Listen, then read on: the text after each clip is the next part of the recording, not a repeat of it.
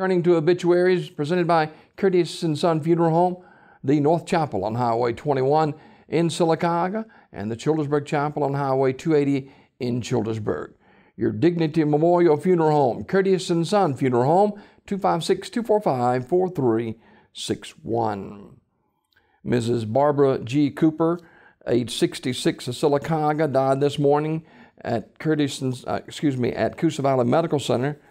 Uh, and Son Funeral Home, North Chapel, will announce the arrangements for Mrs. Barbara G. Cooper, uh, age 66 of Sylacauga. She died this morning at Coosa Valley Medical Center.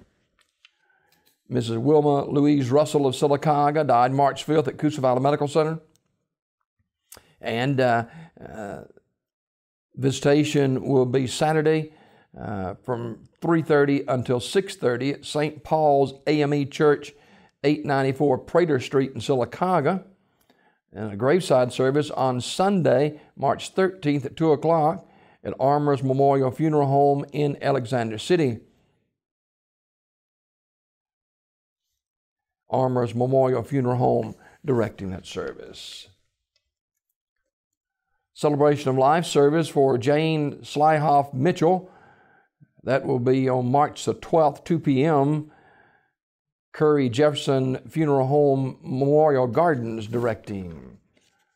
Funeral service for Ms.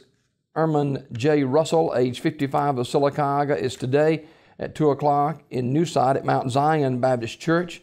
Burial in the church cemetery. Armour's Memorial Services announcing. Kenneth Paul Clements, age 67 of Sycamore, uh, died Wednesday at his residence, Curtis and Son Funeral Home, North Chapel, announcing. And funeral service for Cora Mavis Kelly, age 88 at Sylacauga, is today at 11 o'clock from the chapel of Radley Smith Funeral Home with the Reverend Eddie Perry and the Reverend Paul Vick officiating. Burial in the Evergreen Cemetery. Mrs. Kelly died March 8th at UAB in Birmingham. Memorial messages may be sent to the family at radleysmith.com. Miss Kelly was a member of the Calvary Baptist Church, Radley Smith Funeral Home in Sylacauga, directing. This obituary report brought to you by Curtis and Son Funeral Home, the North Chapel on Highway 21, and the Childersburg Chapel on Highway 280 in Childersburg. 256 245 4361.